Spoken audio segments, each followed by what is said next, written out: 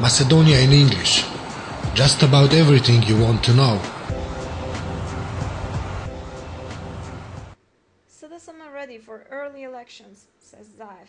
SDSM is ready for early general elections, but only if all political parties adopt together, through consensus, the electoral code, establish the voters' registry, and all OSCE ODIHR recommendations are included, SDSM leader Zoran Zaev said in Shtip.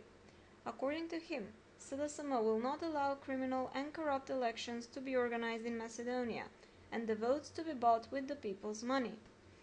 Zaev informed that the election of the new leadership of the municipal organizations is underway.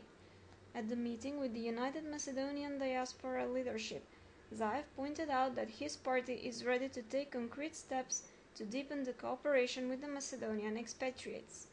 The interlocutors highlighted the importance of building consensus on Macedonia's important issues, especially in the context of the Euro Atlantic integrations.